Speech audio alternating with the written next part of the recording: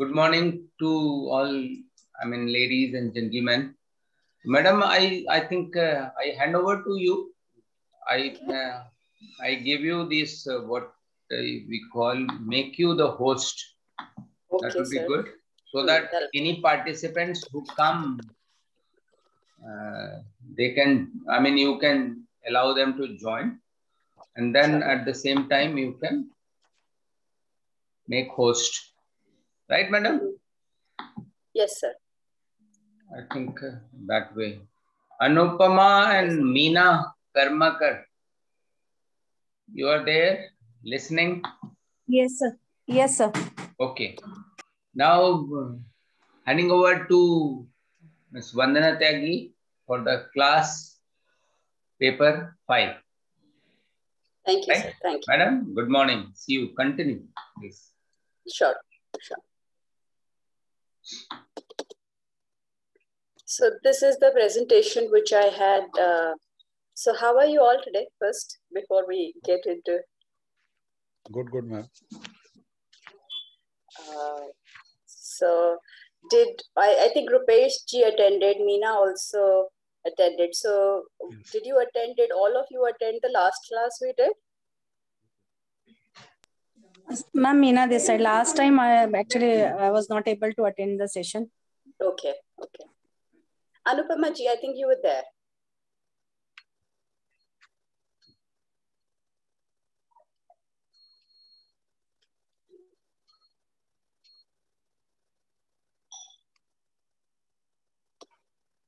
So Veena, for uh, for everyone's benefit, if you could probably give a quick introduction about yourself in terms of what do you do, uh, what you had been doing so far, or what are your aspirations and what are your expectations from this course? Uh, good morning, ma'am. Uh, Meena, this side from Delhi. Mhm. Uh, actually, I'm working uh, into a, life insurance industry and uh, in training uh, training do- domain. I am from 2008. Mhm. Okay. So I'm working as a sales trainer, ma'am, Oh, in insurance industry. Very dynamic, very dynamic. It's very dynamic and aggressive people. and selling insurance is not easy. Uh, initially joined as an uh, sales only. Mhm. Later on, uh, some uh, company trainer pushed me into training. Mhm. So they suggested me you can uh, better pursue career in training instead of uh, only in sales because Mhm. training is basically uh, both blended both. Matlab, training and sales you can do all together. So please, uh, if you come and join us in training, so that's why they just pushed me to the training, and after that. Uh, from 2008 till now, I'm into training and working with HDFC Life currently. Mhm. And almost all of the domain I have worked in uh, insurance industry, uh, direct, telemedical, uh, tele-vertical, direct vertical, Mhm. and banca. Defense also I have taken care of one and a half year. Mhm. So I just moved to different cants and have seen the living style of their uh, cants, how they uh, work, how they live, Mhm. their, their life, how they the life of uh, our army personals. Mhm. I have seen everything. So Wonderful. yes, I learned a lot in this in this industry Mhm. because in this industry you meet different people Mhm. with different thought, different mindset. So I Mm. like the industry and still into the same industry. That's why from so long. Wonderful. Wonderful. Great to hear. I mean, hear your story. It's it's wonderful because I somehow I also believe that people who are best, who can do the best sale, can become the best trainers as well. Because uh, you understand the other person's perspective and you understand how does it happen, and you can actually you know uh, talk about the nuances and you can build the nuances of it in terms of practical uh, practical reality while doing the trainings. So and i'm sure that with post covid insurance industry has boomed a lot of people have become conscious there uh, even if they did not do the sale so aggressively last year still people were keen of you know going and buying term insurance or taking a medical insurance so people have become very uh, you know conscious in terms of how Right. should they yes how should, how should they leverage insurance and it's more so a problem in india i think outside since it's a mandate So people are, uh, you know, the penetration is definitely much Correct. higher. But Correct, there ma'am, is huge scope. Huge So uh, I am the first person who took work from home because uh, when lockdown started, before that, I started working from home Mhm. because I just gone through with the cold and cough. So Mm-hmm. suggested uh, by the seniors ki don't come to office if something happens. But somehow after a week, lockdown came and uh, situations are totally different that time because before that we were doing physical sessions and all and uh, then you move to the another virtual platforms. It's not very easy for everyone. Uh, as a person if i feel yes i can do but the distributors uh, are not very much uh, aware of that. And our distributors at, at the age of 60 65 plus also. So uh, tell them how to join how to do these uh, virtual sessions uh, links how they join how they download. It's not very easy in first quarter but yes uh, later on we feel it's a best op- opportunity for us to continue with this uh, virtual platform so initially we started uh, with zoom then we come to google meet and now we are doing session all sessions on uh, microsoft team Mm. so uh, all the sessions even inductions employees induction uh, distributors trainings everything is uh, even our uh, assessments has been done by virtually True. so every year we just assessed on our training skills and knowledge skills Mhm. from last three years company has promoted and due to this uh, someone uh, my daughter is also completed this uh, last year istd and uh, my boss uh, and my daughter pushed me ki, please go ahead with this uh, training istd um, training and you learned a lot True. so the reason being of joining this and i'm uh, really enjoying Wonderful. the learning of uh, istd what i have what i have learned i am just uh, enhancing my knowledge i can say so it's good for me it's a very good platform for me because it's virtually and it's easy for me as a uh, working professional it's very easy for me to join and uh, attend the sessions and uh, attend the exam is very easy for me Mm, mm. Yeah, now you're learning from experience. You're not learning from scratch. right Wonderful. Um, so we all now know each other. We Anupamaji was there, Sandeep, Sudeep was also there last time. Uh, so we are six participants now. So what we talked last time, last class, that there are different generations of work. Everyone's perception is different. So it's extremely important that uh, you know we are able to include people from where they're coming, and that's how we they can uh, their learning would be sticky to them. What is a facilitation process? It's it's actually you share your opinion guidance experiences and expertise to achieve a common goal and you agree on an action plan we talked about uh, why should we facilitate uh, we, we facilitate to change a behavior to get or given information or to ensure there is an understanding or to get you know to get action on something. Facilitator plays an extremely important role because uh, you the, as per the principles of adult learning you got to accommodate different styles of learning so that you know you're able to include people in your conversation. As we all know adults come with a lot of knowledge and experience so it's i mean they have first barrier that uh, they already know a lot. So what you got to be knowing that you got to connect their your uh, your way of teaching or your conceptual understanding with something what they already know. And that's when they would be willing to listen to you. So it's extremely important how do you bring best in people? How do you help them to achieve the results? How do you use a range of skills as in you know behavioral understanding their own behavior bringing in examples will be more relevant to them and you process on how how they can possibly you know take it back to their workplaces. So we talked about you know what are the skills of a facilitator. You should be uh, you should be listening well. Uh, you should be questioning uh, at the right junctures to ensure that your listening is complete and you're able to you know give them rec- or recommend them or bring them to a common set of actionables. You should be participative you should be empathizing. You should be leading uh, the discussion you should not let you know you know there are a lot at times when you have a lot of talkative participants so you're all over the place so it's you got to ensure that you are responsible for that kind of experience which you're giving to people in that setting So you got to ensure that you know you're leading people to a common goal, and you you set up the objective at the start of an uh, training, but at the same time you don't let any other uncertainty take it anywhere. You lead it, you take it, you close it, and you move to the next step. You got to ensure that you follow time management.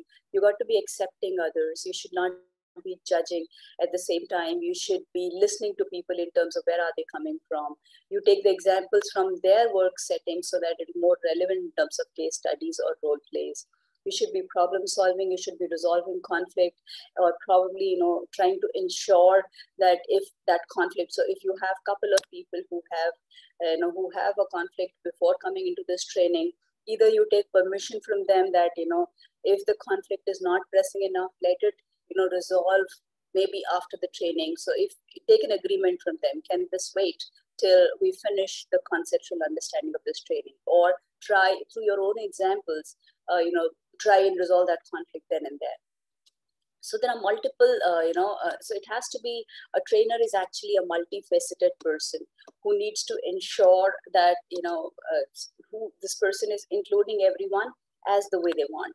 And you are very very you know sharp and observant in terms of non-verbal cues. Uh, you're looking at the barriers because at times you are facilitating a cross-cultural group so you got to be understanding what are the cross-cultural nuances. Sometimes different cultures have a different meaning to different words and different body languages. So you got to be understanding all that.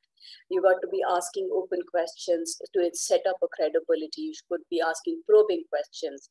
All your conversation or probably feedback which you're trying to give should be in a star format, which is giving a person a situation, giving them a task, giving them an action and result. So probably if if I if you're giving me a feedback, I picked up this example in last conversation that if you're giving me a feedback, say on my presentation skill, you can't simply say that I'm good or bad you got to be telling me that if i if my wish i mean if my visuals are not in sync with words i'm saying if my visuals are not appealing if my visuals are redundant or if my data is you know uh, is placed at multiple in the multiple um, tables or the tables are not readable. So you got to be specific. If you're telling me good or bad you can tell me a situation you tell me a task and you also help empathize in terms of one that i'm concerned that you would not be seen in the right light or you would not be seen as credible with uh, with, with a client and that's how i'm saying this. So you you should show you should also try and incorporate the conceptual understanding. Try and help them uh, first probe them by asking them the right set of questions that they're able to find the answers or they're able to improve on their own. If they're not able to improve on their own, so probably a couple of more questions or else you give them a ready-made solution. And then you then you show them a concern or empathy that you're concerned about their own growth or their own perception or their own credibility in this situation. And this will impact their, their perception in the longer run.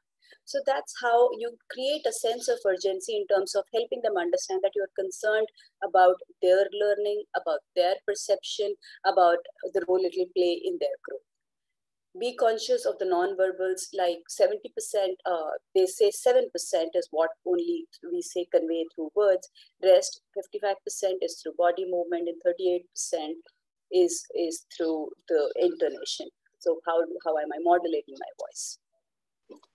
we talked about what is an effective facilitation wherein we feel make everybody feel welcome so it shouldn't be that you know uh, we should not be making judgment with with the fa- with with the looks of an individual with the with the profile of an individual with the kind of clothes this person is wearing with the kind of educational background this person has. It's because you know uh, we have our own biases.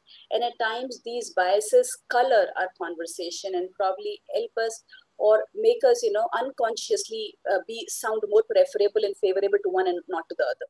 So you got as a facilitator you got to be ensuring that you are you're completely balanced completely neutral and completely welcoming each one from wherever they're coming from. It's not about somebody much senior is is more welcome in the group. Somebody more senior their point of view are more regarded and respectful in comparison uh, to somebody who is more junior so you got to ensure that you're welcoming everybody. You have a clear set of established goals.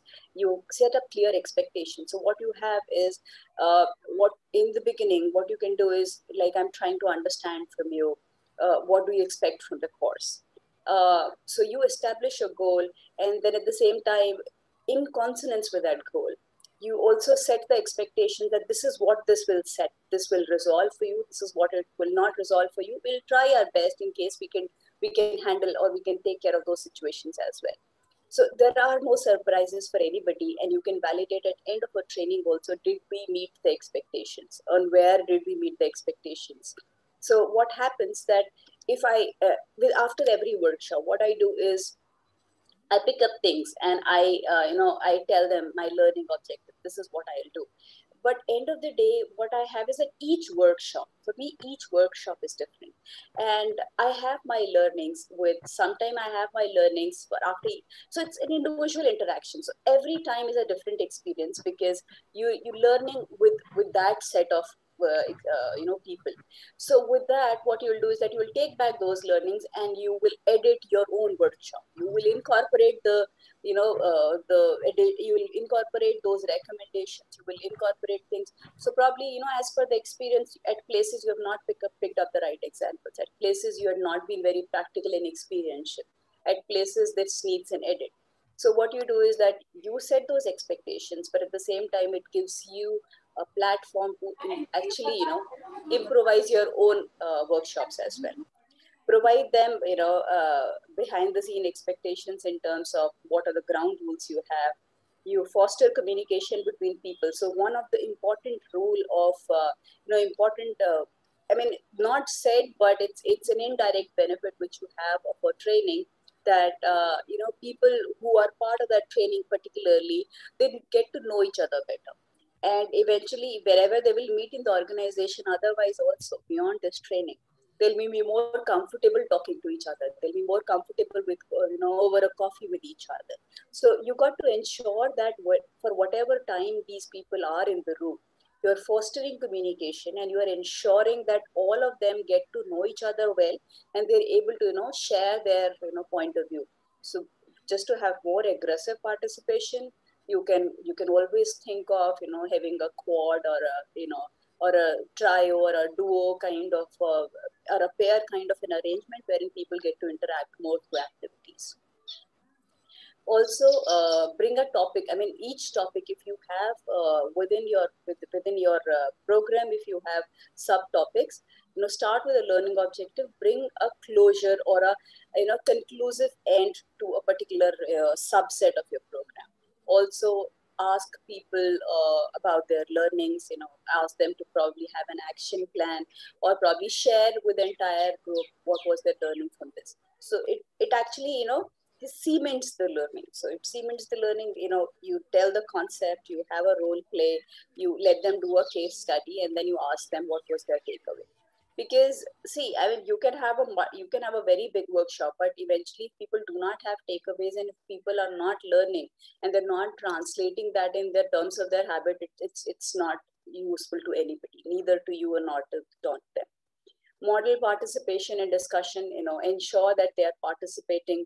Keep the discussion alive in times if you feel uh, if you feel that you know the the discussion is becoming very sluggish and people are not participative so probably you know drop a bomb at that time to a magic wand probably break the discussion either either ask give them a break or break the discussion in terms of asking a question which is very generic which let everybody participate uh, you you present uh, you know you ensure that everybody is present you keep the discussion on the topic you you guide the participant. If people some people are not able to include themselves because they're not connecting. So maybe you're talking about you start talking about you bring an example wherein you you quote an example from an international holiday.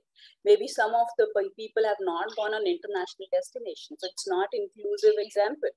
So you got to be ensuring that your examples are very inclusive or uh, maybe a shopping. Everybody would have gone for shopping. So you try and connect your major and bigger complex topics to things which are much simpler and which will make everybody include, which will be much closer to people. So that ways you can bring in those examples and guide the participant if people are not able to think on the topic or, or the place, try and simplify them that they're able to include and you make sure the audience and the content are in sync.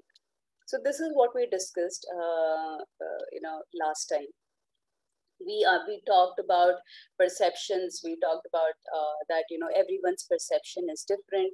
That doesn't mean that one of us is right and the other person is wrong. So it's no uh, it's, it's we got to be respecting and we got to be seeing things from other person's perceptions uh, because perceptions are extremely important.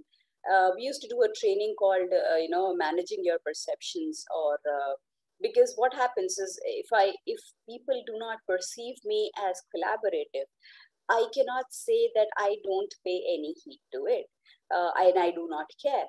Because maybe these are the people who are designing uh, or who are deciding the next job rotation next critical assignment uh, for for high potential. So probably i will miss on a lot of opportunities I will miss on a lot of, you know, a uh, lot of occasions wherein I can learn from that particular person because this person is averse to not talking to me. And I did not, and maybe that I had the real feedback uh, by having a conversation or having a coffee with that person to understand the perception. Why do he has the perception he has? I can probably you know make my relationship better by asking those questions from that person. At least this person, this will clarify the perception this person has. So it's extremely important by not completely rejecting anyone's perception, but trying to understand and decode why the perception is the way it is. So there are a couple of examples which I showed that sometimes, you know, somebody sees a trophy, somebody sees two faces, somebody sees an apple, somebody sees a face and and they are all you know uh, they're all coming from our experiences. There are so we have our uh, we have our biases which are deeply seated in our in our experiences. So what happens that you know we experience the, we we live in association. So what we do is if we have a new situation which is very close to or which is faintly close to something which we have dealt with in past uh, then what we will do is that we will bring in that past experience and then try and fit that past experience in this new setting without realizing that lot of environmental variables have changed. My environment has changed. The person in front of me is different.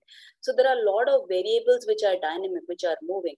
My past experience which i learned in my past settings in my past reality might not fit in this situation but since it's less training for me it it uh, you know it stopped. It actually and i can escape from a lot of fresh thinking. I can bring in something which is already part of my subconscious mind. It's much easier for me. It's less dissipating for me. So i then bring in that experience and i i do this and then i pick up those um, biases which are already which are part of me which i don't realize so that's but end of the day that actually colors or changes the way you act in a situation. So i talked about a couple of biases. We what we can probably do because these are very these are topic in itself. So we can probably spend some time on biases also in one of the workshops. Then we talked about how should you listen how should you be encouraging people. You should be not you should be quiet and you should be giving opportunity for other person to talk completely and you summarize because extreme uh, in, we all have seen in mails that uh, you know uh, we have at times we have chains of mails because uh, either the other person is uh, is angry and not understanding the entire mail and then writing one one liners so what probably has not understood what i'm trying to say. So it's validation in terms of what i'm saying and what you're understanding i'm saying they're both same so that kind of summarization, if I summarize the way I've heard you, you you have an opportunity of either correcting me or probably gaining that confidence that at least yes, this person has understood me. so that way summarization is extremely important validation is extremely important because then you act on the right problem. At least the diagnosis is not wrong. So these are a couple of things which we talked in past. Uh, so there are a lot of you know uh, there are a lot of theories which talk about your personality how in what situation do you act and how do you how do you perceive things how do you take decisions. So we did not go into detail of all of it but uh, this is what we talked so uh, we also talked about that how do we learn how do we remember things. Uh, i have this presentation shared with kk sir then you can probably you know if you need it you can probably take it So that we talked about what is an inclusion language, how do you have we all know that uh, now there is huge focus on the diversity, not only representation, but inclusion of that diversity with multiple organizations. So how can you include? So it's not only hiring more women or hiring disabled people or hiring LGBT, it's about using that kind of inclusion language and bringing that culture within an organization that you these people are able to contribute to their potential. Then we talked about, um, you know, how do you effective question to broaden your skill. You can have um, you can have open-ended question. You can have close-ended question. You can have overhead questions which talk about which are which are addressed to everybody. You can have relay question. You know, somebody asks you a question, you relay it back to them. You reverse the question, one question which participant asks you, you ask rest of the participant, or you have a directed question. So these are a couple of things which you do in a facilitation, and this is how and your see we are human beings. We we have biases and we are constantly judging. So everything which you would uh, you know which you would do you will be judged multiple times by a participant. So with the kind of facial expressions you make with the kind of clothes you you you wear with the kind of words you use the kind of body language you have. So this is something which you cannot escape but what you can do is that probably you can control this you can have a better impact on on the audience or to build up a better rapport. Uh, anybody wants to uh, anybody who wants to you know bring in a reference or probably something from the last class?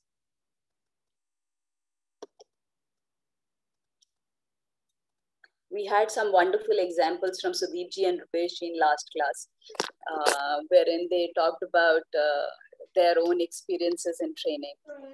Yes, ma'am. And, uh, so, I mean, that's my uh, just to build the continuity and to have a best peer learning experience. It's my request to all of you make time to attend this session. Uh, because what will happen because i am also learning in all these sessions i'm always learning but what happens is uh, this you know i mean if i'm talking about say including uh, the people or bringing more collaboration in your facilitation skill uh, there i mean we have such a group of learned people like rupesh ji Sweepji, everybody anupama ji i mean all of you priyanka uh, meena ji. So we have all heard you in terms of you have your own legacy of experiences in facilitation and you bring in examples for each other so use let's use this platform for a wonderful peer learning also beyond ISTD. So we are all learning in the process uh, because yes, uh, so and these experiences are unique. Yes, Meena, you saying something? Uh, yeah, ma'am. Uh, ma'am, uh, summarization is very much important, I feel, in current scenario because we do in a virtual sessions. Na, so due to some network issue, connectivity issues, na, I have uh, gone through this experience actually. My employees and distributors, those connected on the sessions, they some sometimes they just uh, due to network issues not able to hear me properly. So when uh, we do summarization, na, so they feel so happy कि at least summarization हो जाता है ना तो ma'am जो miss हो जाता है ना वो हमारे को उसका जो बेसिक जो आपने पढ़ाया ना वो समझ में आ जाता है। तो summarization is more important in terms of in a session which I feel completely completely with you because we all understand the practical nuances sometime uh, you know sometime uh, people people are not there completely. I mean sometimes they do get up from their desk uh, and uh, it, it's difficult to hold people completely onto their workstations at times as you rightly picked up. When things are uh, they miss on certain things it becomes much easier for them to pick up those things.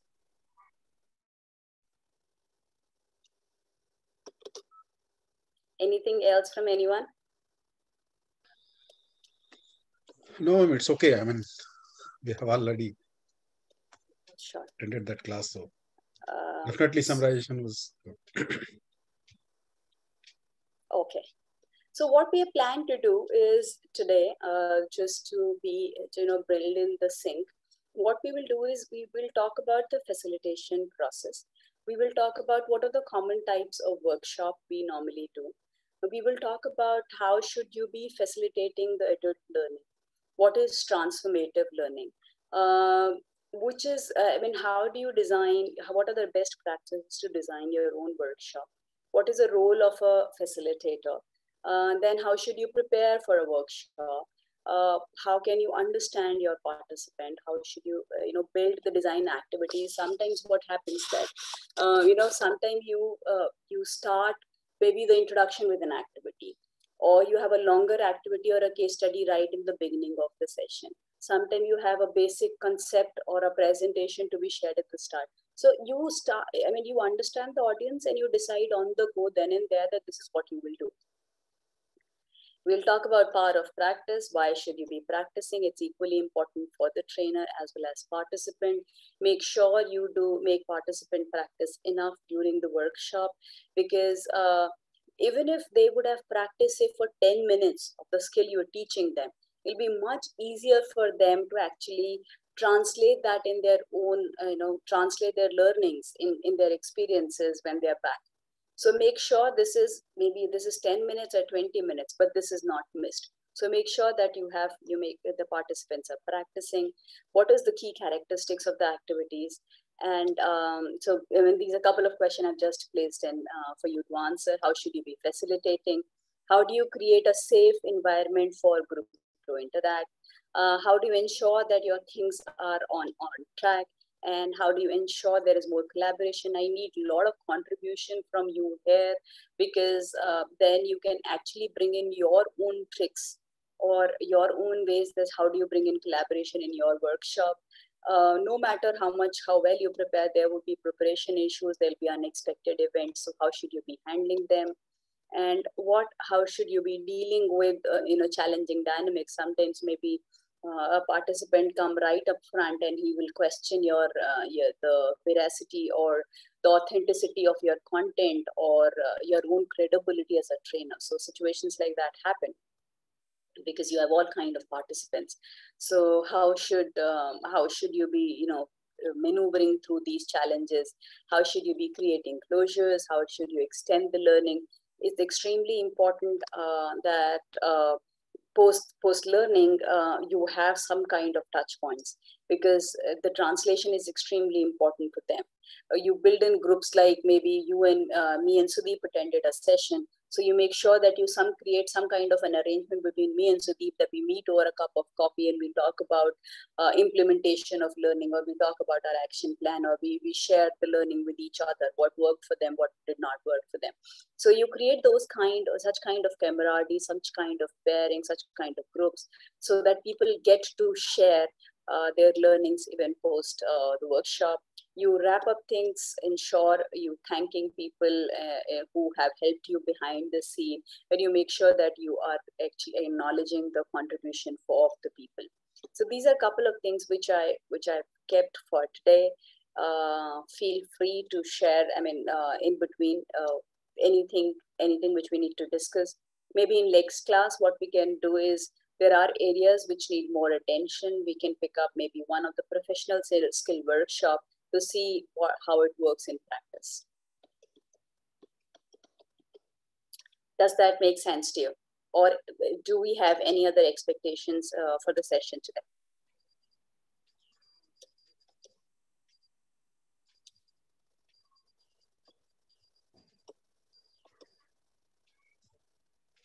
Do you see, uh, do you see a presentation or you see a PDF? It's a PDF. Whole file, I have whole screen is uh, actually showing, ma'am. Please okay. make it. I mean, full screen so that. I think it is PowerPoint. Yeah. Now this is uh, the PDF. Okay, this is a PDF. So, shall I share a document or simply share a? Doesn't make a difference. Ma'am. Okay. Okay. So, uh, so what happens that what is a workshop? So common workshop types. Uh, so I'm sorry, I, I missed on. Do we have any other expectations from anyone?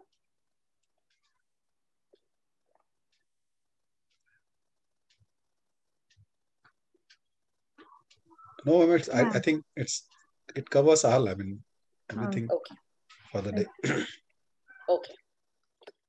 So what what are the different types of workshop do we do?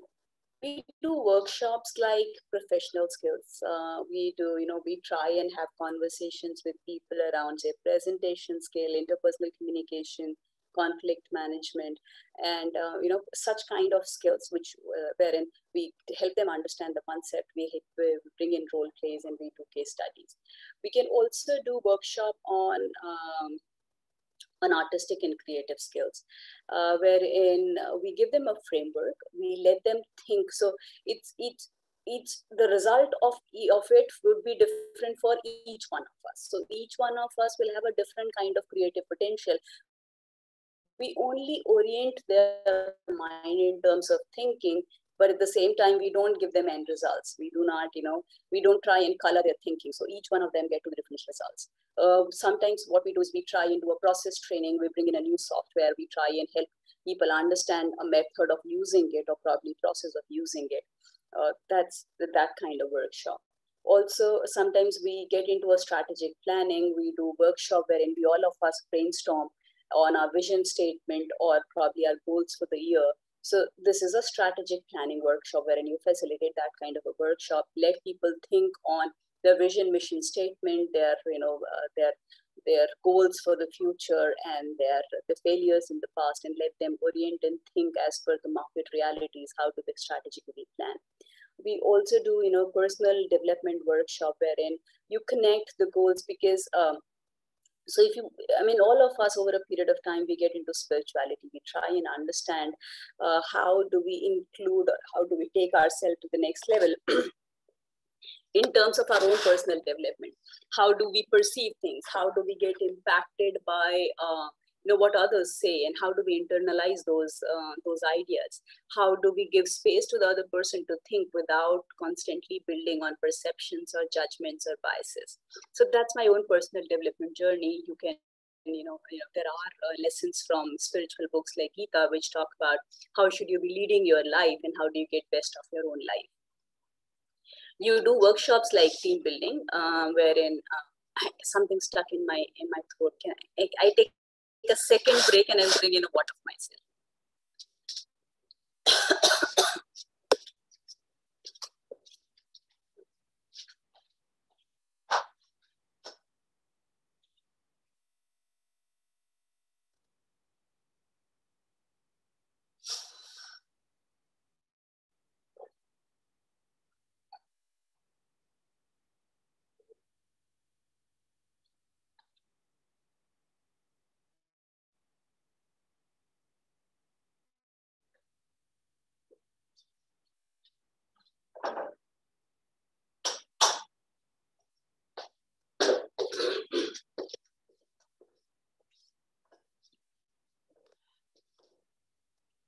Yes, I'm back. I'm sorry for that. And we do workshops around team building. So what happens is that team building will help us to, you know, break the ice, bring in teams more closer to themselves. And they're more comfortable with each other. They can collaborate their things. They will be more successful with each other. So we do such kind of workshop wherein the intent is it's team building, break the ice, or, you know, to have have that kind of comfort, have that kind of closeness and intimacy within the team, so they're more comfortable talking with each other. Um, if anybody wants to say any other kind of workshops they have done otherwise.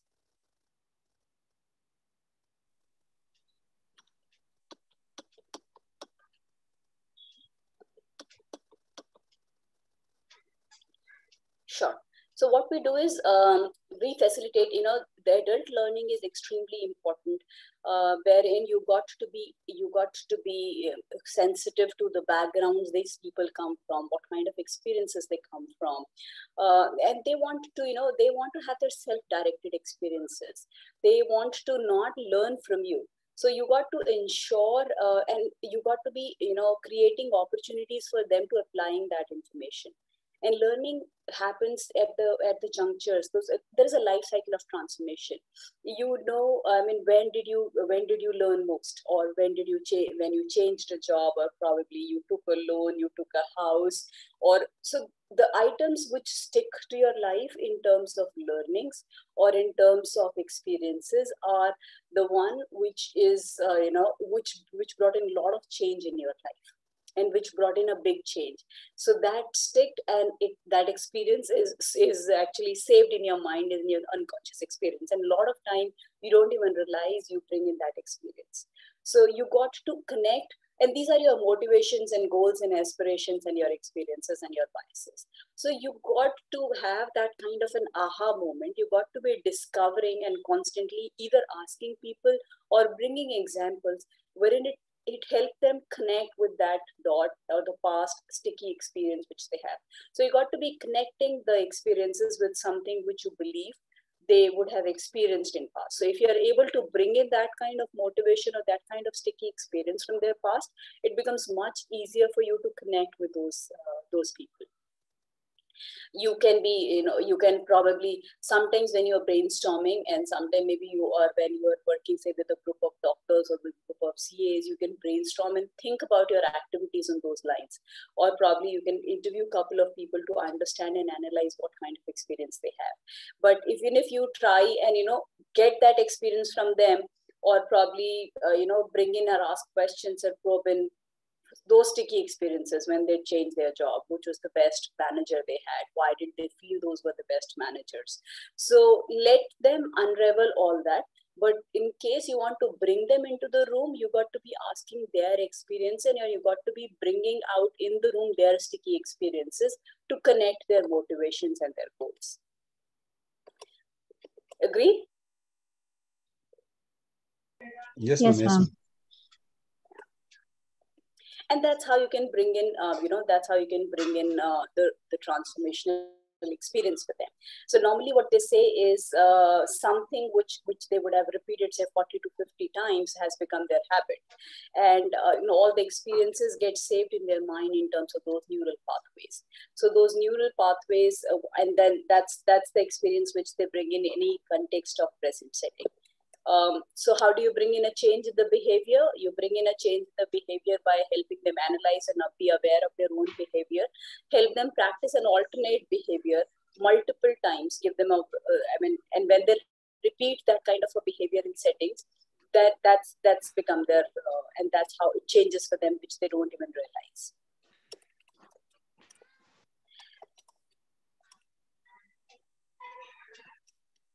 In any case you have you have an example probably in any of your settings which any any specific trick which you use to bring in those experiences from past? Anybody wants to talk about the you know when you when you are actually facilitating an adult learning workshop anything which you bring from uh, which you do which let people bring in those experiences and help you include them better in the uh, throughout the workshop Any example you want to bring in?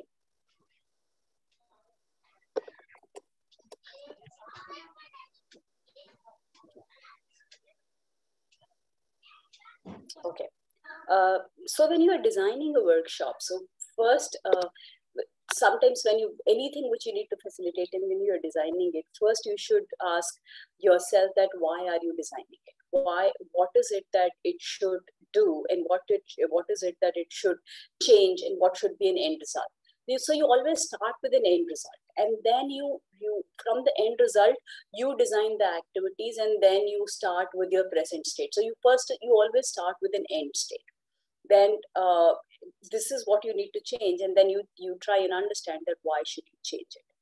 Uh, also what you can do is that in the in the while designing a workshop you create an environment wherein people are able to collaborate in the risk free settings and they're able to contribute and they're they're able to safely learn.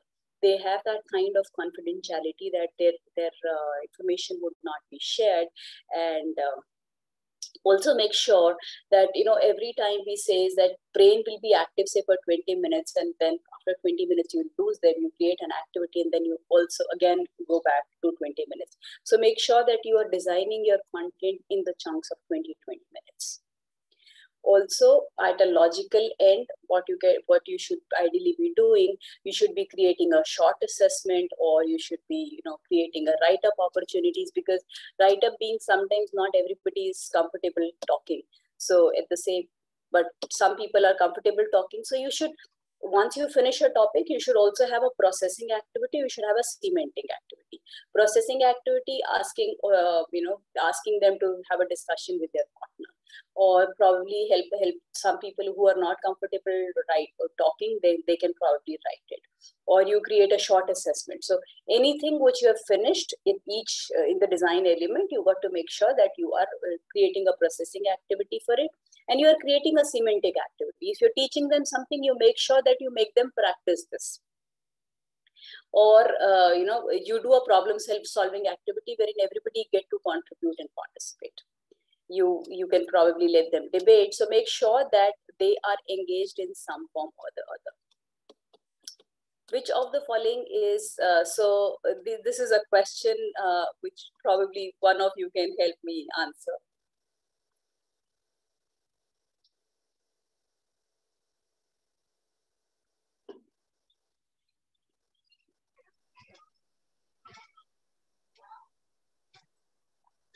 which is not the dimension of a facilitator role. Facilitator lead groups to work independently, help people move towards a specific outcome, leading groups to collaborate together. First one is not actually the. Thank you, sir. Thank you. Yes. Leading groups to work independently. It's not the uh, dimension of the facilitator role, actually. Mm -hmm. And why do you say so? Because uh, our role is uh, to collaborate together and all participants Correct. to come together so work independently means everybody will go in different direction True. so it's it's True. not uh, it's not possible to i mean uh, combine all this activity in the same i mean direction so sure sure Sure, because each one of them are working independently, even if there are synergies, even if they have experiences from past which they want to bring in and want to use that for enriching each one's uh, knowledge. So let's do that. But it's not uh, that they go on their own. But it's the intent is beyond our learning, uh, you know, outcomes. The intent is that everybody is learning from everyone. So let's ensure that there is no supremacy. Everybody is standing on a level platform and everybody is learning from each other's experience. Yeah, right. Synergy will not be there actually. Yes, synergy would also not be there. Uh, camaraderie would also not be there. Yes, yes. Mind would not be at ease. I'm Definitely, constantly, yes. yes, yes. So I'm constantly thinking, how do I prove myself? You know, I, I Right. get that kind of feeling that how do I prove myself superior than others? Right. So, and and we all human beings have a have a have a need for belonging and have a need for uh, inclusion. And at the same time, we all, you know, by giving more, we are more happier. I I was uh, so that was because I know I was just celebrating one time. My um, I was asking my son as in when was he most happy. So he told me he was happy the day he had uh, he had helped a student win. So they had gone to a school which was like a, you know weaker section uh, people. So their school used to arrange a program wherein they will all go and adopt a child and they will help and support that child. So the child he supported had actually won a debate, and he felt extremely happy uh, that very day. He still remember that. So it's sticking, it, it sticked in the, his mind, and he still remember. So the joy of giving would never. It'll be lasting. It'll be sustainable happiness. So that ways we all we are all human beings. We know how do we get happy. It's just that temporary happiness and high is what when we try and prove supremacy, but that is not lasting. Um, so principle of adult learning include the following, understanding the why, learning by doing, experiences are all of these.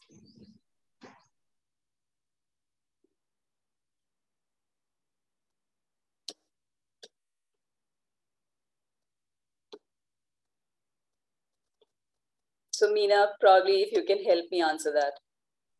Ma'am, all of these. Why do you say so? Maybe you you can probably you know talk about one of your workshop.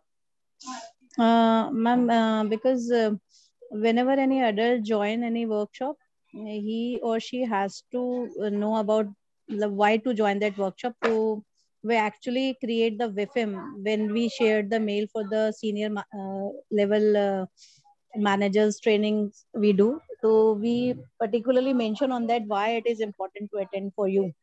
Mm. Not even in on males when they enter into the training rooms on a virtual platforms.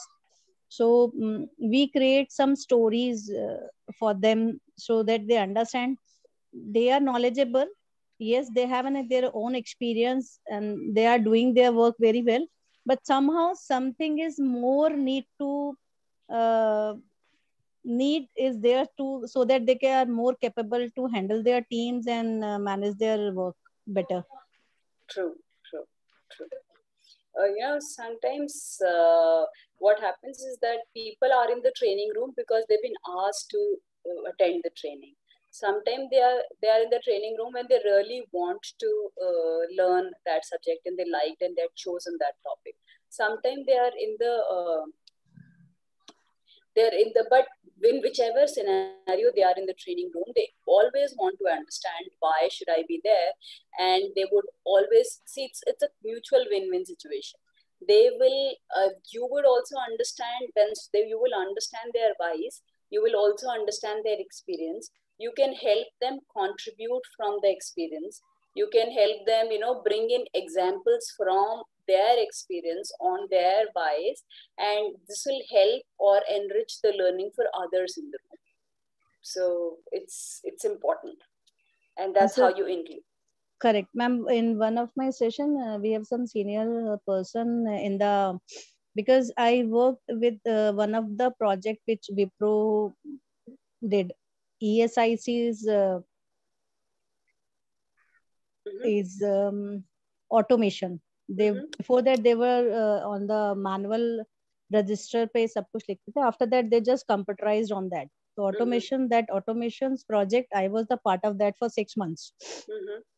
uh, th- so uh, when uh, we go to the senior people na, director level or senior director level people when they come and un- uh, join us on that uh, first workshop we did for a one hour Mhm. कि why this automation is uh, mandatory for them so initially they starting just uh, questioning on us कि uh, this is not possible to do uh, on a automation mode जैसा चल रहा है ना physical mode वैसा ही चलने देते हैं on register and all they were not totally agreed on that Mhm. but somehow I managed and uh, tell them कि let's see yes you have your own experience uh, you all feel कि yes it is good what we are doing but let us give you an overview why it is important uh, why it is uh, how uh, the change will help them to uh, work make more easy not for you for every employee of that esic member.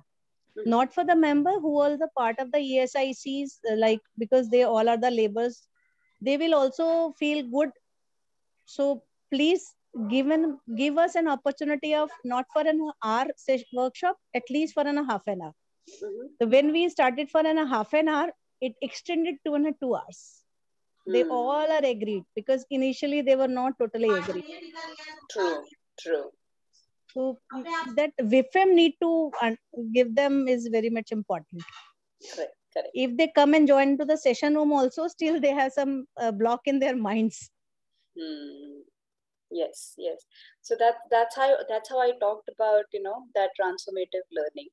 So first is psychological, which is which is uh, change in understanding. You you tried bringing. I think that that's what you targeted there. Yeah, ma'am. So- I I always try my uh, this uh, psychology treatment in my, all the sessions. True. I think it works. That the tool you can use to create the shift are like providing knowledge, information, models, or theories, explaining then why of something. So then that's how you explain why, and that's how you, uh, and that's how you're able to convince these people better. Right, right. And convictional is like when where you where, where a person has a change in their belief system. It's usually um, you know you create that kind of flash of insight. You you create that kind of an aha moment, which you you you need to set your audience to happen. So what's interesting is that insight causes a permanent shift in brain.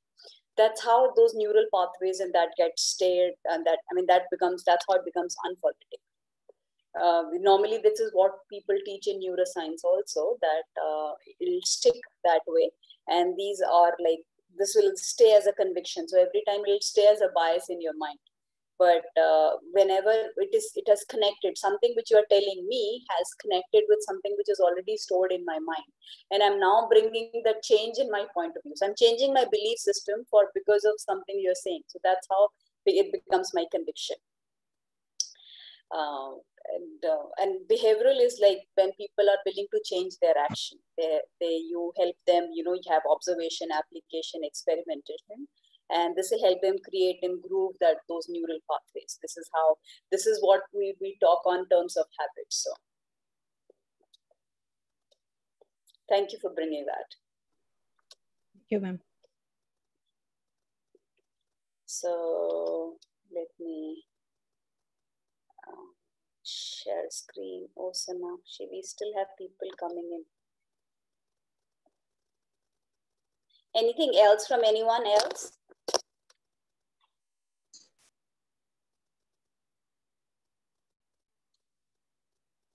Anything from Sudeepji? It's be very silent today.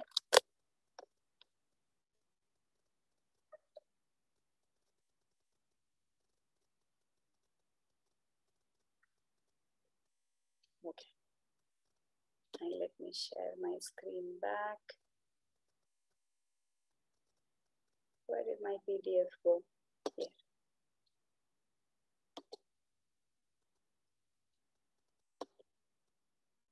You see my PDF or you see my presentation? Yeah, it's a PDF, man. Okay, it's PDF.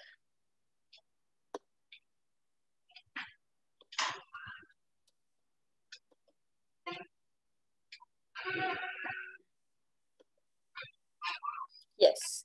So this is what best practices in the workshop include uh, include all of the following except. So which one is the right choice?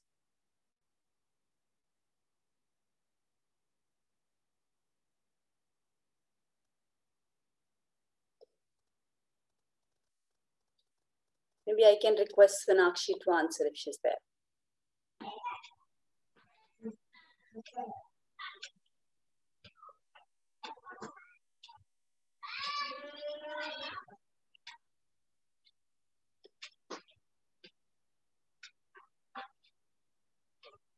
Anupama ji, are you there?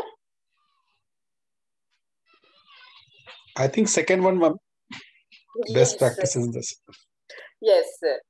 So, um, Vulnerability. correct, correct, sir. It's completely right. Yeah. You always start with right, so that's right. You create a safe environment for people to learn and take risk.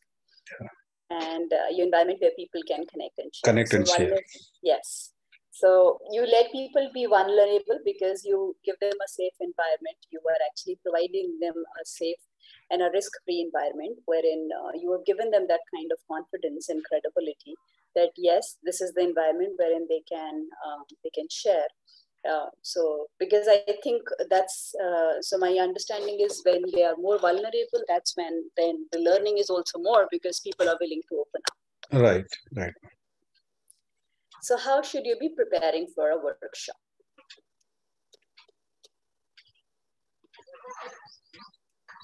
I hope you still see the PDF. Yes, yes, ma'am. I'm just trying to, you know, maneuver uh, this. uh, so no matter what kind of workshop you're leading, it's important that you really clear about the issue of the workshop you're trying to solve. Your level of clarity directly impacts the experience of your participant. A well-designed workshop has a clear set of outcomes. So we normally call it as a learning outcome. Um, they should answer the question at the end of the workshop. Uh, so what knowledge, skill, uh, and participants will have. So what you probably start with and what they have reached out to. So that's that's essentially a first line. So uh, that's uh, and what you need to be sure of that uh, this is your point A and this is the point B you want to reach to. And what you do is that you do that through the series of content and activities and presentations. So this is the basis of your learning plan. And um, so first you figure out the right order of the content. You ensure that uh, okay. So what should be your uh, what should be your order of your content? I find that there seems to be a right or a best order for moving the audience from. I mean, that that's what you do is that you uh, you try you first understand that what you're trying to achieve, where you are at, and that, that will help you decide that what should be your order of your content. Uh, what you can possibly do is that you can have a post-it slips.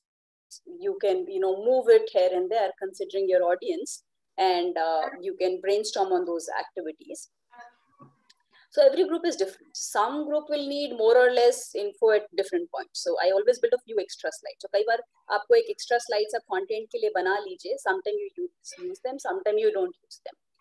Right. Um, uh, and if, if they're not needed, you can probably hide them. You can have brainstorm activities to highlight the learning moment. Uh, once you have the content in order, then you can start to think about the different processing activities that would work. Uh, you can be as expensive as possible through this part because options give them more flexibility. You try and have maximum options. Your experiences, uh, your option should be uh, should be through different styles, so you're able to include different people. Skybar, you will have an activity first, and um, sometime you will have a content first. It just depends. You can have an initial. Uh, sometime you can have your introduction activity with uh, with uh, with a 30 to 90 minutes hands-on experience. Uh, third is about sketching, sketch the timing of your workshop agenda. Once you have a learning plan and possible activity, it is, it is now time to start figuring out what time each of an activity will take. And uh, this will always, I mean, this will be more stressing because you got to be ensuring that, uh, you know, uh, you've got to be moving. So, so this will help you and understand that how much time you will take in the entire workshop. Right. Uh, pick the one that that will best move your group along to achieving your goals, and at the time you need to open and close the workshop. Sometimes this normally doesn't fit. Now you have to go back and tinker. So because once you will have those. Uh, those sticky notes you'll have to tinker because then you'll have to if once you have a fair understanding of the, these are the activities you want to include and this is the time each of an activity will include. So with these sticky notes, you will move things here and there because that will give you a fair sense of uh, idea of how much time you will actually take to do that workshop. So sometime you will you will start cutting breaks. This is your take. Because you also need to factor in you know at times in a physical workshop you do a you know a morning tea break you give a lunch break you give an evening break. So with all those breaks also need to be included. So you make sure that you understand what how much time will it take. Sometimes when you believe that you know the certain portion of the content which can take lesser time you don't include the content you simply include the activity for that particular section and that way people will be able to understand so that's what you do so you combine couple of things. Um, so normally people have seen uh, uh, like team building activity, people do it with introduction. So it becomes much easier for people to have, you know, to break the ice at the same time you finish your introduction part then and there. Uh, and also make sure that you remember a 20 minute rule that you don't have a long content stretching say for you have you know content or a presentation going for 60 minutes without any kind of interaction or engaging or including audience, then it becomes very monotonous and you lose people there and it becomes very difficult. So remember that 20% rule and make sure that you are including um, all of it in the, uh, all, all everybody in the workshop. So how, eh, how any one of you share or uh, design your workshop you want to share?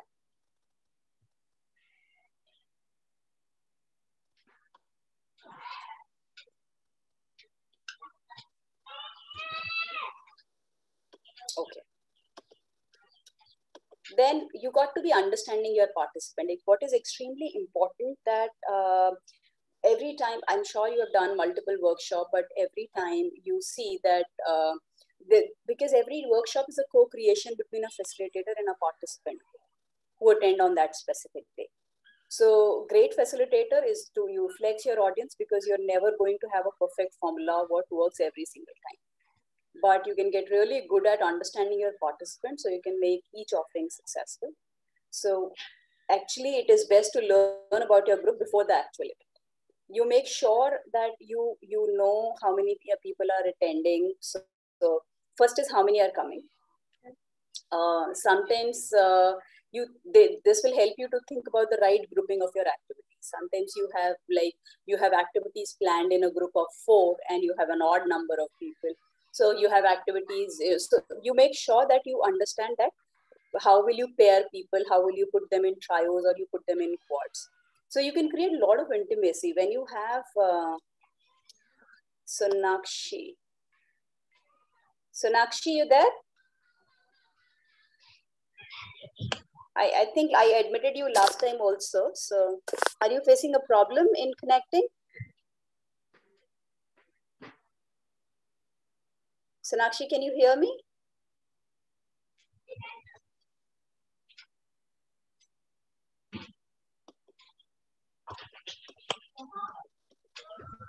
Okay.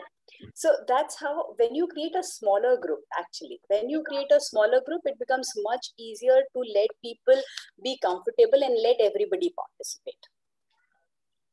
Uh, also, uh, understand what are their, uh, so there are, uh, there are pros and cons of it because if you have a larger group, maybe, uh, you know, one, one person remains silent and then not, not everybody is participating you got to be knowing their experience level what are their age and experience level. When you have different generation in your audience. We talked about it. Different generations have different uh, so you know the, we have millennials we have baby boomers we have generation x and generation y. Uh, we all equate or understand things in a different perspective. Some for some it is indiscipline for some it is uh, your creativity and innovation and thinking so it's it's important that you know that uh, what age group they are in so you it'll help you to plan your activities. It can be challenging uh, to find examples or case studies that resonate with all of them but knowing them at least well in advance you are able to bring in activities which will include some and then another set also. So you will bring a set of or a range of activities that you're able to include all of them so some, because content of some will apply to some and the content of others will apply to some others. So this, this will work. You will have to find commonalities. Third one is uh, uh, that they are from this, are they from the same organization? Are they from the same department? If they are, you can leverage their shared experiences, examples, and lingos to make the workshop feel really aligned with their and you will have to be more careful about the relationship what they bring into the room. Um, if they have like you know if some people they are they have alliances or conflict in the group if there will be senior leaders in the group or if they have a person influ- who could uh, who could influence the opinion of rest of others. So you got to be knowing all of it right before beginning the workshop. First fourth one is what are their jobs and career this will help you to know where uh, where are, are they coming from what is it that uh, you can leverage in terms of their experience. If uh, so if you're talking to probably a healthcare workers you can uh, you can you you can bring in more examples from science and data. So that will connect them better uh, so if, if there is a specific issue or a challenge with this this workshop they're trying to solve, uh, then uh, you you can ask few of the participant in advance. So I can. So what you can probably also do is that if they uh, what you can do is you can interview these people. If they are uh, they are trying to solve a particular problem, you can try and understand that problem better. pay attention to what they are doing. Do they look? Um, if if you are not in the right direction, um, they will give you because the participant give you a real time feedback also. If uh, if they, they are looking confused if they are looking engaged or if they are participating is their energy in the room very high or the energy in the room is dropping or they are feeling sluggish. So these are signals for you to adjust or uh, you know and uh, you will you will have to you know as a as a facilitator this is your priority and you make sure that you bring in that kind of a change in your facilitation during the workshop. Know a lot of it right in the beginning and incorporate all of it during your designing of the workshop. And all this will help you in designing the right kind of activities. Are you with me on that? Yes ma'am yes ma'am Uh, we talked about this uh, that we bring in activities which will uh, which will be extremely important which will be uh, first you understand their belief and behavior uh, sorry i'm you still see the presentation no uh, you still see the pdf PDF, PDF. Somehow yeah yeah yeah it just disappeared from my screen okay.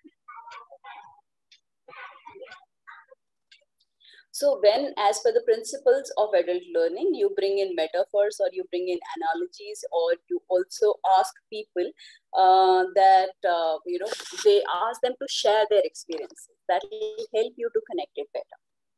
Uh, you should be using activities which is appealing to a wide style of and preferences and you give them that confidence that you will keep these activities completely confidential and uh, you would not uh, and if if uh, it would not be disclosed to anybody who is who is arranging or organizing or to their seniors.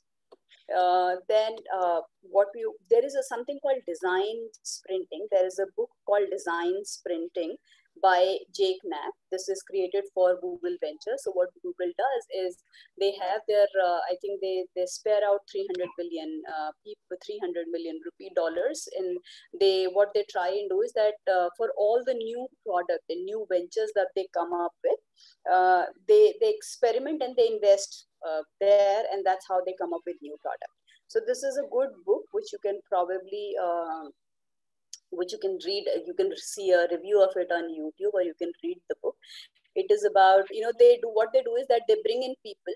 It's a five days process. It's a, a Jan, like you can start it on monday finish it on friday. You interview a couple of people there you bring in a storyboard. So you have a you do a brainstorming. You will do it with not more than seven people and for not more than five days uh, you bring in uh, you you try and understand what problem you're trying to solve for then you prototype it. You also create a storyboard. So you keep excluding things. In these five days you storyboard it you prototype it and you launch it also.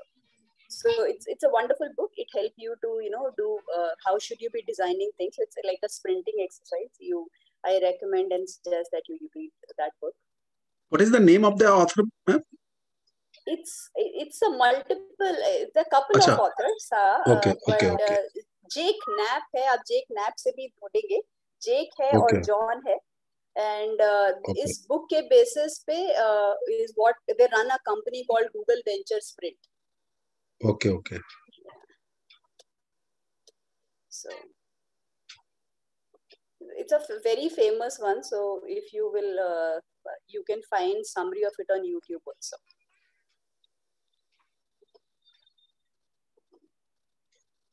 so part of practice uh, is uh, practicing is very important because the more you practice the more calm and confident and competent you will sound in your workshop. Uh, is the real trick is actually do it real time. Do i mean do your with your decks on or with your props and do this practice. For example um, so if, if i discovered how it is so at times you know you get confused with your own handouts. You what you realize that you can probably clip them and order them rightly. So even if you don't have your you have you don't have your notes you can you can carry it. So it's just about running a doing a dry run. I uh, you practice out do a trial run. You can also pilot your workshop. So what what i suggest that if you're doing a new workshop bring in a couple of your friends pilot it call it pilot and say clearly that you're looking for feedback let them people so it's it's easier and quicker and uh, you know better to get feedback from your friends rather than trying to stand in front of critical audience. So do that feedback session with your friends. Ask your friends to role play a challenging situation. Also for participant also uh, you should plan certain kind of uh, practicing activities. Because participant if they will spend 10 minutes with you there in the workshop it becomes much easier for them to implement those learnings so practice is equally important for participant as well as for a facilitator. Because participant you know normally what they do is uh, they, they're not willing to practice with you. But if you create that kind of an opportunity that is where it will stay in their subconscious mind. So it definitely and once they practice it say for 40 to 50 times it'll become their habit. So that repetition is what will make it their habit and this will be more fluid for them to implement those learnings or implement those learnings in the practical scenario. Please pick up So with that, and we'll come to logistics. How should you be planning the logistic for your workshop? So first step is uh, is scheduling. So it's scheduling is very important. You need to pick the days and times to offer your workshop. Make sure you consider only not only your schedule, but at the participant. Sometimes, like I used to work for finance group, so like they have their in March and they have their closing. So that's definitely not the right time for do the training. So I would not probably plan them or at, at, that particular time. Sometimes certain times holiday time doesn't work well, say for teachers. So you make sure that when you're planning it, you are you're scheduling it as per as per you know convenience, considering the convenience your or probably uh, or participants' convenience. So it's extremely important that they are able to attend the session uh, in unaltered or a focused manner and nothing is bothering them. Uh, second, you need a place to host it, uh, whether uh, that's a physical space like a conference room or an online platform. You need to reserve the space, allowing additional time for setup and breakdown. Also consider what amenities the space offer. Like, um, you know, I like the room with movable chairs because uh, that gives me a flexibility to arrange the room the way I want. Um, uh, so I I need I I use videos in my Sonakshi has entered so many times. Sonakshi, are you there? I've actually made you enter thrice. You facing some problems, Sonakshi? Hello. Are you facing some problem? Uh, oh yes, I'm facing some technical issue again and again. Uh, the meeting just ends for me, so I have to rejoin it. Okay. okay. Sorry for that No problem. No problem. As long as you're able to follow and with, with us. So, um, so that's how you completely look at it. So you plan all of it right in the beginning. And third, you make sure that you have and AV um, needs can be met. Like you use workshops, so then you have to have a laptop, you have to have a projector, you have to have a pointer. So you make sure that all that is taken care of and that's in control um, if uh, you have to have registration when when the people decide to enroll how do they do that? A good registration system will capture the information you need and then send them an automatic notice of um, of their enrollment. It is nice that there's an option for uh, putting this on calendar as well. And you definitely want them to get reminders a couple of days prior and warning of that particular uh, location or login information clearly displayed your reminder message should let them know anything that make them participation easier like where to park in case they are coming um, they're coming and traveling for this. So if you give them those logistic information where should they be parking what things they should bring what meals will be provided how to log in and use the features. So you want eh, make these things as clear and easy and possible so that you know uh, the participants are uh, they they need uh, they reach well in time and it becomes much easier for them. Uh, and it, it's all everything is uh, everything is being taken care of. So such things they, they at least such logistic issues do not worry them Six, uh, you will need to track who actually attended the workshop. So think through how you will collect that information and submit it back to uh, the sponsoring organization or the organization, their own organization. Uh, will you need signing sheets? Sometimes what you need, what you see is uh, the handwriting of people is not legible. So what you do is that you give them a printing sheet and with their all the details printed, and then simply let them sign. Um, so uh, you you can you can have participant complete a form last minute for your session like uh, and send them a link. Maybe you can send them an online link later also which asks them for a feedback. Um, you can send them an instruction how they should submit it. You or uh, you can you can take this opportunity to tell them also about the upcoming events that this is what is happening. So you try and make sure that you make the the event as easy for them and you try and foresee the logistic issues, things which look trivial to you, but they are important. And they take away the hassle of, uh, you know, managing a lot of things. So if you are little proactive in terms of ensuring all that information is given to them well in advance, it becomes much easier. So it is, uh, I mean, these are small, small trivial issues as in, as I said, where should they park the car? What time should they come? How should they register? What will be the break time? So all that information if given well in then uh, in advance, they feel good about it. Um, so what is the key characteristics of, uh, of effective, oh, it's, I, I think I made some, it, it's, it's an effective session actually. It's it's an effective workshop actually. Effective i've mentioned as an effective activities but read it as what is the key characteristics of an effective workshop. So this is a question again. Um, i want uh, maybe beyond rupesh and meena i want somebody to answer this.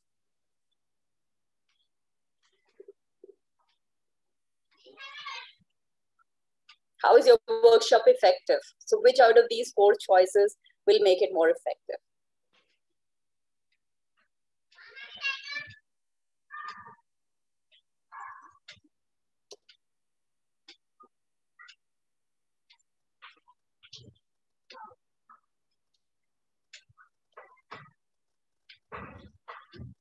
Jitendra, are you with me on this? So if I can ask you to answer this question.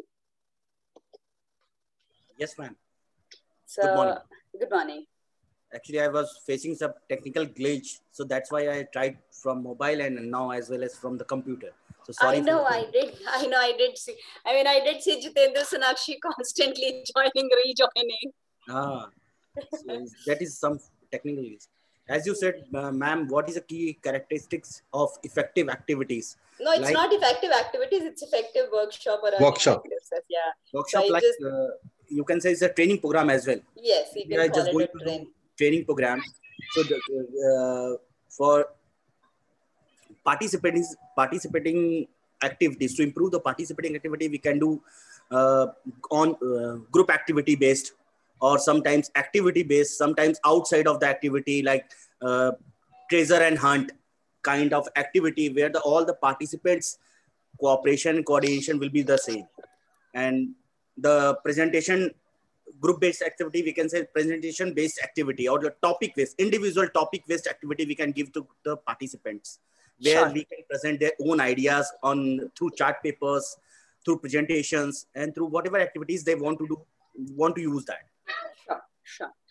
So, Jitendra, we will also uh, would want to know you a little more because I think uh, you did not attend the last session. Uh, but for this particular question, so there is a question on the screen which says an effective workshop offers what? So out of these four choices, one of them is right. You help me pick one of that.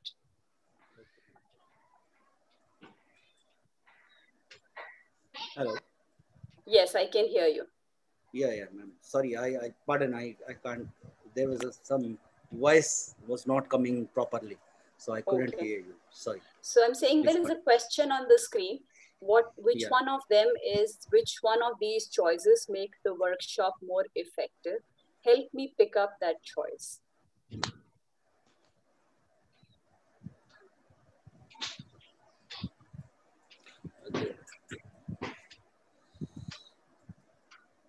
Uh, ma'am, uh, as per the my point of view, that would be the third point. That would be uh, best of among all us. True, Uh, they offer a wide range of style and preferences true, true. because because the whenever we are just conducting the uh, conducting any session or any workshop, so uh, might be possible uh, participants can be 5, 10, 11, 12 as per the, the audience given by the companies to us.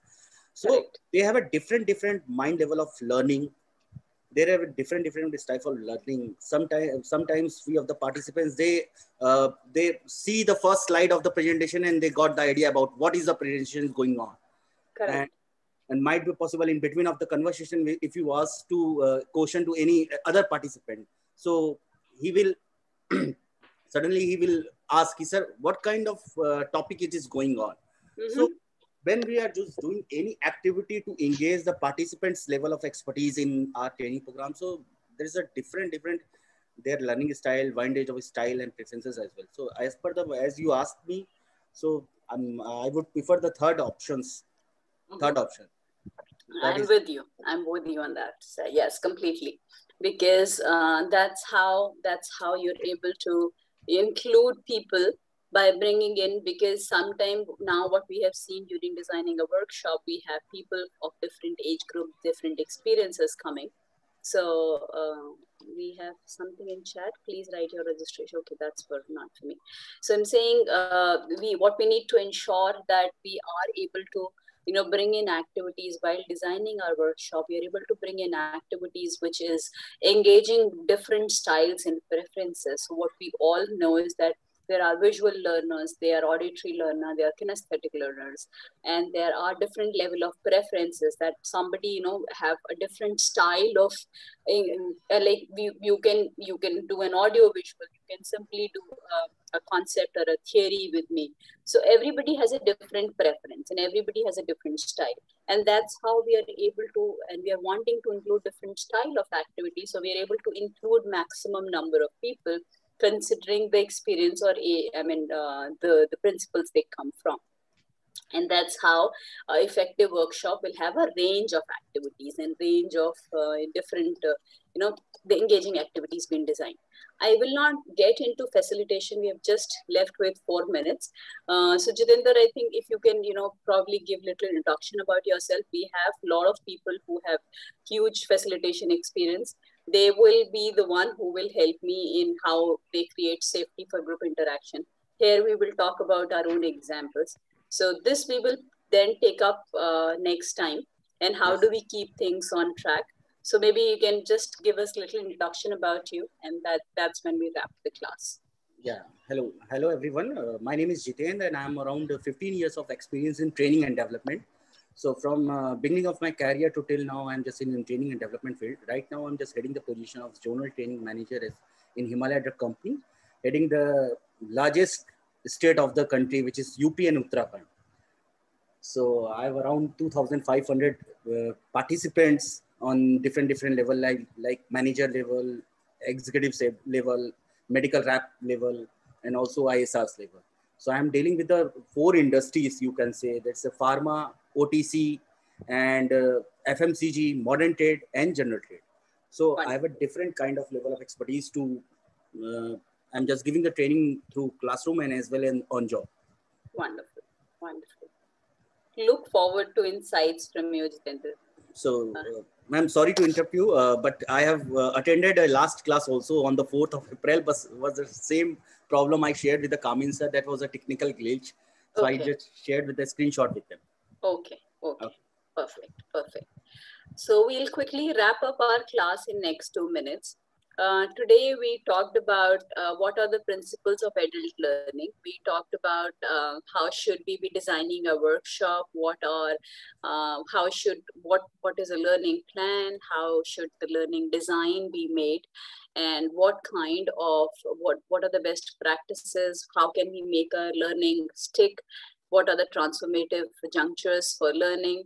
and how do we ensure that you know we are breaking our session every 20 minutes to ensure that uh, these uh, you know we are settling in we are processing the settling in of the learnings by by bringing the right examples or bringing the more case studies or bringing examples for people to practice it uh, we also talked about you know design sprinting uh, wherein you can you can let people open up their mind and be more creative and innovative in terms of designing new solutions or solving on working onto a problem together with by with their open mind. And uh, how should you be piloting your workshop to make sure that you are you're able to get much output on the focused effort which you're putting in and people are able you're able to bring in the different style of learning or you're able to include different uh, you know different you include different activities so that you're able to include people with different styles and preferences. So anything any any other uh, you got to make sure that people are vulnerable in the process you give them safe and uh, environment and a risk free environment so they are able to and they're willing to open up. And you ensure that you always start with why and you include the people to make sure that their learning also happen in the process anything else from from Meena, Rupesh, and we just we still have a minute to go.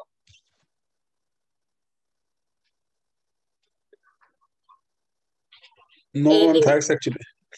Thanks, ma'am. Actually, uh, I have again, I mean, go through all these things again.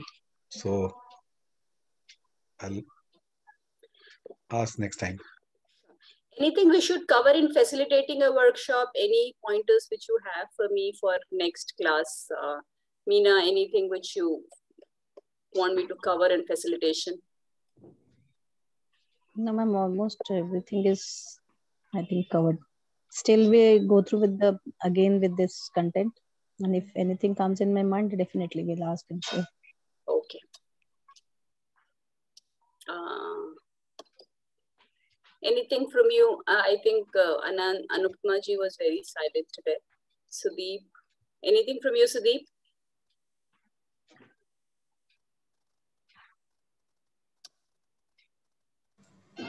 No, ma'am, I think you have covered it well. Actually, I'm facing a lot of uh, network issue. That's why I'm not Okay. able to participate fully because number of times I just uh, got disconnected. Sure, sure. I can understand. Maybe internet is also celebrating Sunday. so Verma sir, you there? We're done. So